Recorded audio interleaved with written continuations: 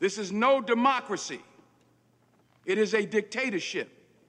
I am the law. If you survive camp, you will be on the team. If you survive.